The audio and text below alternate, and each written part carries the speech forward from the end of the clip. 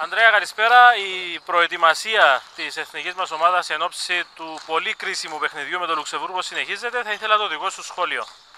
Η προετοιμασία ξεκίνησε καλά. Ήμασταν 18 παίχτες στην αρχή. Ε, είχαμε κάποιες ατυχίες με τραυματισμούς από την πρώτη κιόλας μέρα, αλλά εντάξει, αυτό το, δεν μας πτωεί. Αυτό είναι μέσα στη διαδικασία της προετοιμασίας ούτως ή άλλως.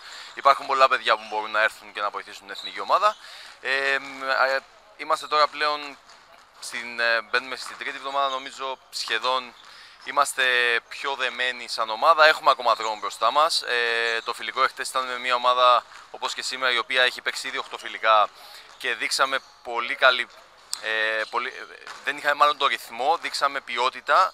Δεν είχαμε όμως το ρυθμό που μας λείπει και πιστεύω και με τα φιλικά στην Ιταλία θα πάρουμε παραπάνω ρυθμό και θα είμαστε ακόμα πιο έτοιμοι για το παιχνίδι με το Λουξεμβούργο. Όλα δείχνουν πως το παιχνίδι με το Λουξεμβούργο θα έχουμε sold out. Ποιο μήνυμα θα ήθελες να στείλεις στον κόσμο; Ε, κοίταξε, εγώ το, τον κόσμο, ο κόσμος είναι το πιο σημαντικό κομμάτι αυτής της εθνικής ομάδας. Ε, Όπως θυμάσαι και με την Πορτογαλία που είχε 5.000 κόσμο, μας έδωσε απίστευτο παλμό.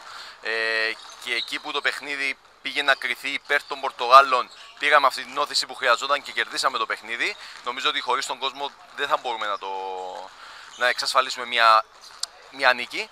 Ε, νομίζω ότι είναι και πιο εύκολο για τον κόσμο σε αυτό το γήπεδο που είναι πιο μικρό και πιο ζεστό ε, να έρθει να το γεμίσει και να έχουμε μια πολύ πιο ωραία ατμόσφαιρα από το Ελευθερία.